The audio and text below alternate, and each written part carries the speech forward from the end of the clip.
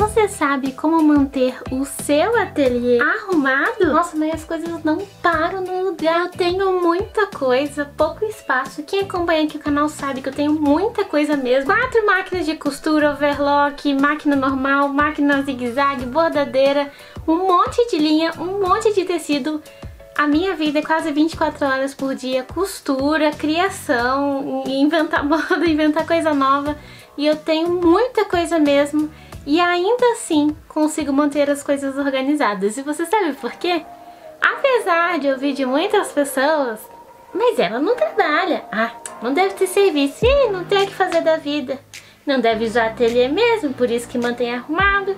Sim, eu ouço de tudo. E é incrível que muita gente acha que organização significa que a pessoa não faz nada não tem o que fazer da vida e não é bem assim que funciona. Hoje eu tô aqui para dar algumas dicas para vocês de como eu mantenho o meu ateliê organizado, prático, simples e funcional pro meu dia a dia, para poder estar trabalhando. Então eu vou dar dicas espetaculares de longos anos de costura, de longos anos aqui no meu ateliê, eu aprendi muita coisa e hoje eu quero compartilhar isso com você para poder te ajudar a também organizar o seu cantinho. As dicas que eu vou dar hoje não necessariamente é para quem costura, pode ser para quem costura, para quem tem um ateliê de artesanato, de caixinha, que faz uso de pelúcia, ou então alguém que tem um cantinho artístico para desenhar. São dicas que eu acredito e eu uso não só no meu ateliê, mas na minha casa, na minha vida. Então eu acredito que sirva pra tudo. Rat, conta logo, como que funciona pra manter as coisas organizadas? Existem alguns passos a serem seguidos. Eu vou falar de acordo aqui com o meu ateliê nesse vídeo e aí vocês vão vendo o que funciona pra mim e o que você consegue manter também no seu dia a dia. Primeira coisa, tudo que tirar do lugar coloca de volta. É uma coisa meio besta, meio simples, mas eu sei, é difícil, até pra mim é difícil. Tirou do lugar, o quanto antes tenta colocar de volta. Se eu pegar uma linha, for usar, for colocar ali, o espacinho dela tá aqui, peguei, coloquei de volta. Tesoura, as tesouras ficam tudo na altura dos olhos, fácil de visualizar, também é uma coisa muito importante que as coisas estejam com uma visualização boa. É sempre importante as coisas que você usa mais tá à vista. Como vocês podem ver, eu tenho aqui todas as minhas tesouras. Tesoura de picote, arredondinha, zigue-zague, tesoura de tecido para papel, tesoura de pique, tesoura de bordadeira. As tesouras ficam no olhar, régua, outras réguas aqui, tá vendo? De fácil acesso para pegar e usar a plaquinha aqui para poder desenhar, fazer as criações. Tá vendo, ó? Bloquinho, anotação, caneta, durex, tudo ao alcance e de fácil acesso. Linha, overlock perto, linha normal perto da máquina, linha normal perto da máquina. Linhas de bordado perto da bordadeira. Primeira dica então, coloca no lugar, tirou, coloca no lugar, qualquer tipo de coisa. Segunda dica então, que temos é praticidade, coloque as coisas que vocês usam mais perto de vocês, ao alcance. Terceira dica é uma dica muito valiosa. Vocês acham que o meu ateliê, que o meu cenário, as coisas estão aqui por algum acaso, porque simplesmente eu peguei e coloquei? Não, de jeito nenhum. Cada coisa no meu ateliê tem um propósito e tem um motivo. É muito importante que para suas coisas ficarem organizadas, tudo certinho, e você conseguir colocar as coisas de volta no lugar, elas têm que ter um propósito. É muito fácil, se você não tem em mente o porquê aquilo tá ali, de você depois não conseguir colocar de volta, não lembrar aonde que tá, não lembrar às vezes perder as coisas pela casa e você não encontra, ou então você fala, nossa, onde que eu guardo isso mesmo? Onde que tá aqui? Isso acontece muito por falta de propósito. Eu vou dando tudo exemplo porque fica mais fácil de entender e de explicar, tá bom? Linha. Por que, que as linhas estão aqui? Muita gente guarda em caixa, em gaveta, em armário. Eu pensei muito, mas é uma coisa que eu uso todo dia. Às vezes no mesmo dia eu uso 10 cores de linha diferente.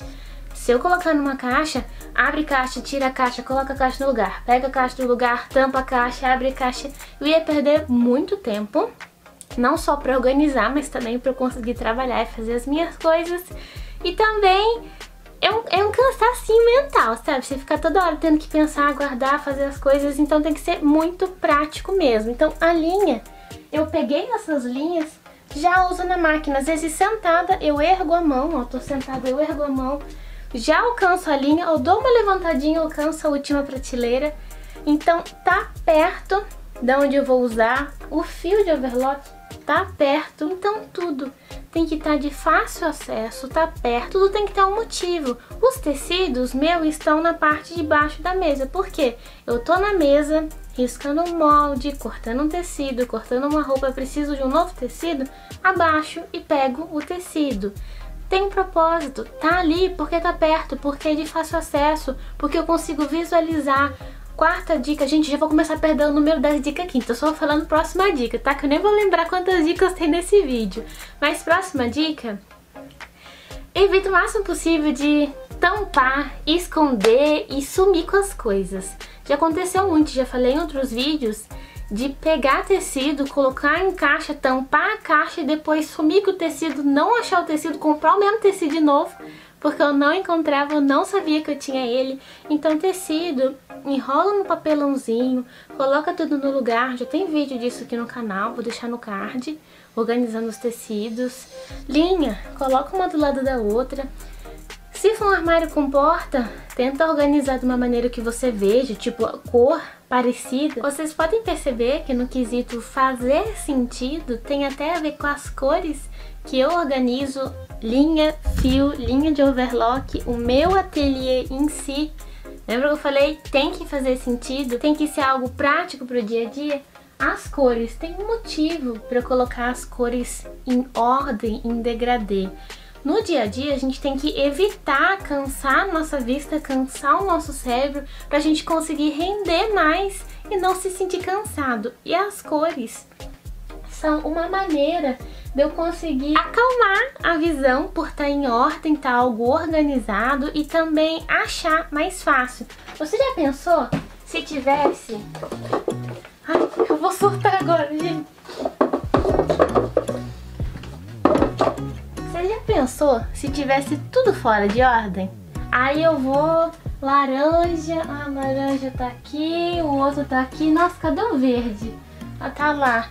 Então, as coisas bagunçadas, as cores distantes, se eu fosse fazer uma roupa laranja e eu deixasse uma linha na outra prateleira, vamos supor, um aqui, um aqui, um outro lá no canto, eu ia ter que ficar girando o meu ateliê para conseguir encontrar a cor laranja para costurar alguma coisa. Então as cores têm um motivo para elas estarem organizadas, para eu achar tudo mais fácil.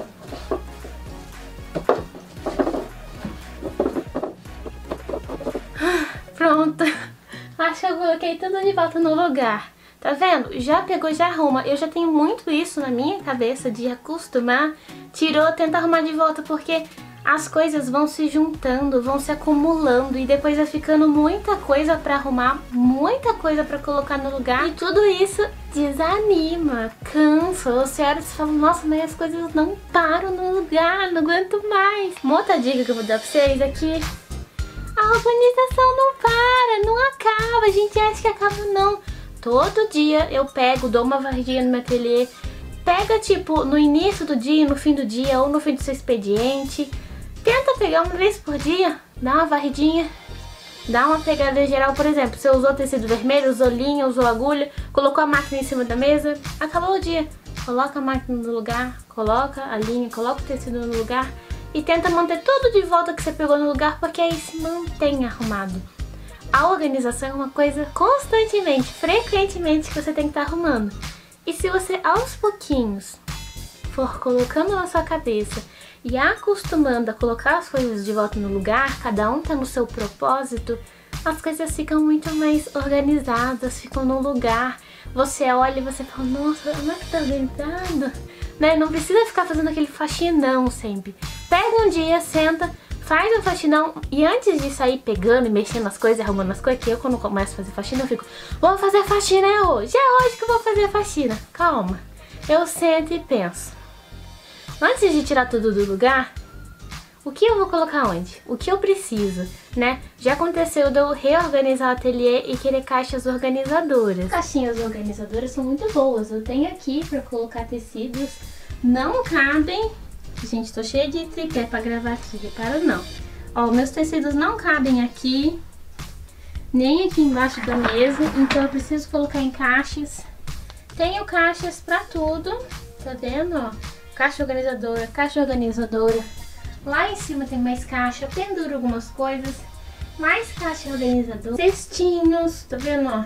cestinhos para colocar as coisas. É muito importante a gente tentar manter tudo no lugar e tudo organizado, até para paz interior, pra você falar, ai, acabou, tá tudo organizado, tudo no lugar. Então, vai vendo utensílios, coisas que vão te ajudar a manter essa organização. Eu evito muito coisas que tenham tampas, coisas fechadas e coisas que não dê para enxergar dentro, porque como eu já falei, depois a gente perde, some, não acha mais né? Então tenta ver o que se encaixa melhor para vocês. Outra coisa que eu, eu particularmente acho muito, mas muito importante mesmo, é dar a sua carinha. Não importa se é cozinha, se é banheiro, se é sala, se é quintal, se é ateliê, não importa se o seu cantinho é minúsculo, é uma bancada, é uma mesinha, é um gaveteiro, não importa aonde, não importa o tamanho, não importa o que tente dar a sua carinha. Quando a gente dá a nossa personalizada, deixa com o nosso estilo e deixa algo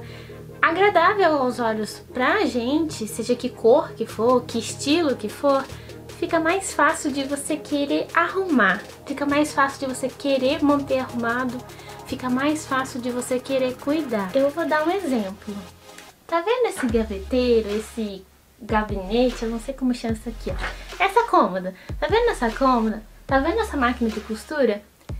Eu pintei essa cômoda, eu pintei essa máquina de costura, eu fiz esses cestinhos organizadores, inclusive vídeo no card, tem vídeo aqui no canal, tá? De todos eles. Por que eu fiz isso?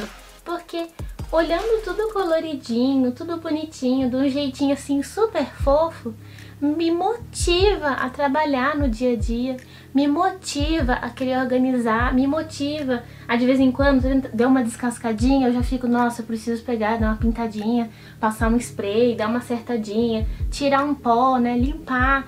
Me motiva a manter tudo organizado, porque deu trabalho pintar, deu trabalho estilizar, tem um carinho ali comigo, então fica mais fácil daquela coisa que, que motiva a gente, que anima a gente, que faz a gente seguir em frente e manter as coisas em ordem, manter as coisas bonitinhas, organizadinhas.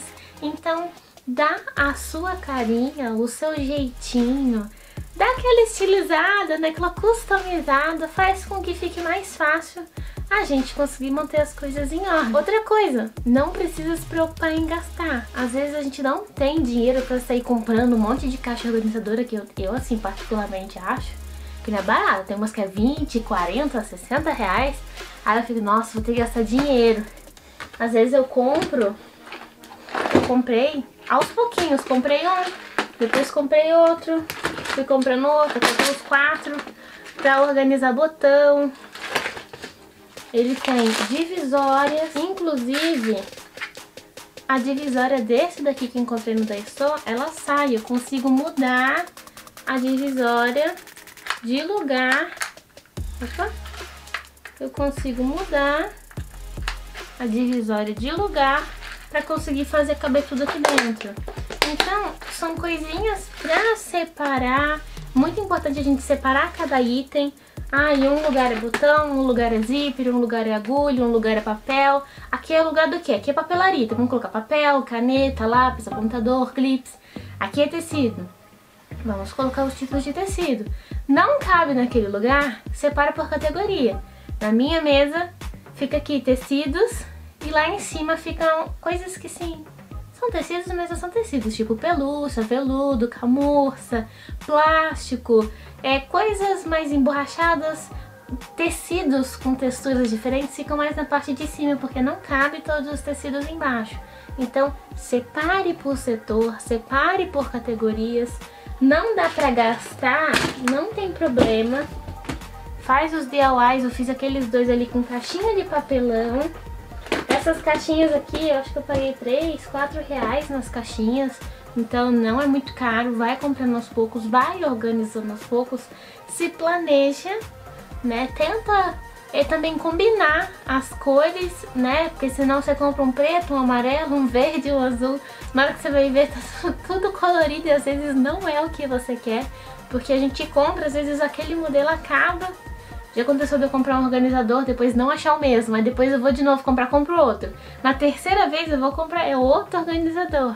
Então tenta manter também, de certa forma, um padrão no tamanho, nas cores, no modelo, tenta combinar, tenta fazer algo assim. Meu ateliê é muito colorido, mas ao mesmo tempo que vocês podem ver que ele é super mega ultra colorido.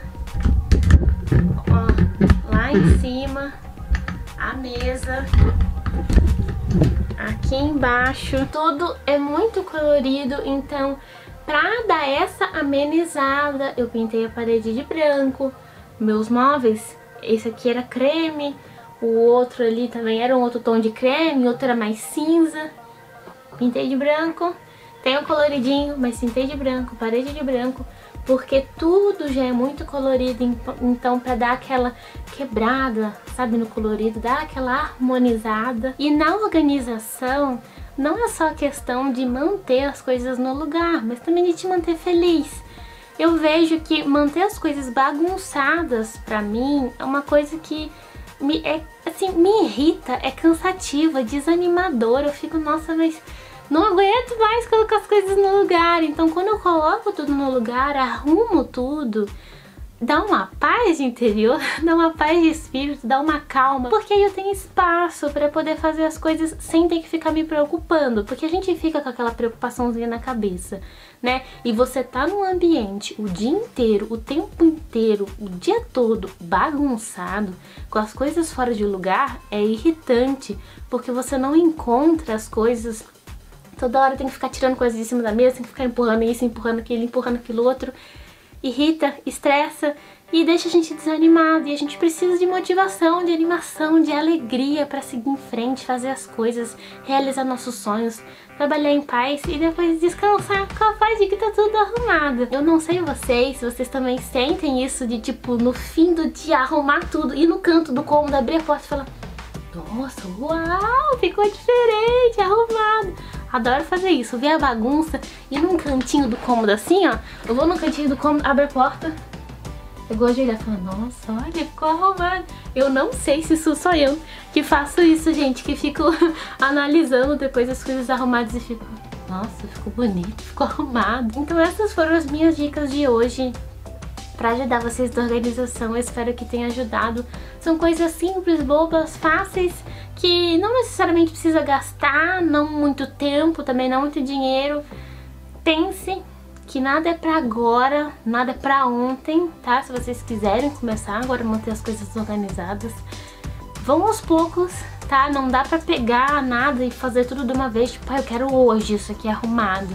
E aí às vezes você não tem móvel, você não tem as caixas pra organizar, né? Então, queira organizar, mas tenha paciência, respire, vá com calma colocando as coisas em ordem que você vai conseguir manter tudo arrumadinho, né? Do seu jeitinho, com a sua carinha, se divertir, trabalhar e ser feliz no seu cantinho, você vai conseguir manter tudo organizado, eu acredito em você. Muito obrigada pelo carinho de todos, de estarem acompanhando, assistindo. Se esse vídeo ajudou você, deixa seu like para eu saber que você gostou e trazer mais vídeos assim se vocês quiserem mais dicas da Hat, né? Se tiver mais alguma coisinha que eu puder compartilhar de experiência com você, pra poder te ajudar, deixa nos comentários que eu trago o vídeo, tá bom? Vou deixar duas playlists aqui pra organizar as suas coisinhas, o seu cantinho, né? A sua casa, assiste que vocês vão gostar, tem vários vídeos baratinhos e fáceis que vão te ajudar na organização. Se inscreve no canal para não perder as novidades. Beijinhos cheios de glitter e nos vemos no próximo vídeo. Bye bye!